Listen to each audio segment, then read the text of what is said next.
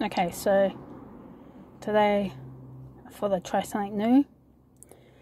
This is a Streets Cornetto Dragon and it's made in New Zealand so I thought I might review it because I've never had it before. Okay, so it's a black Cornetto fruit cone with lemon and strawberry cream and chocolate on the top. Mm, might give it a try. Hmm.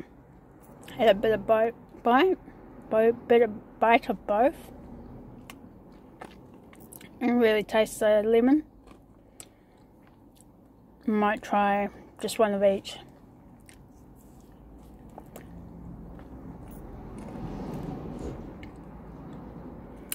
It's more like a sugary fake strawberry taste.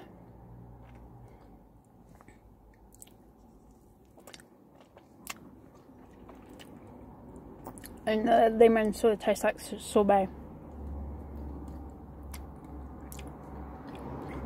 I think it's say it's got soft drizzle down the side of it too.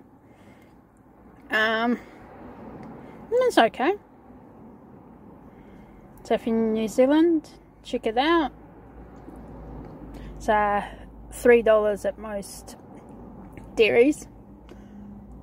Alright, out.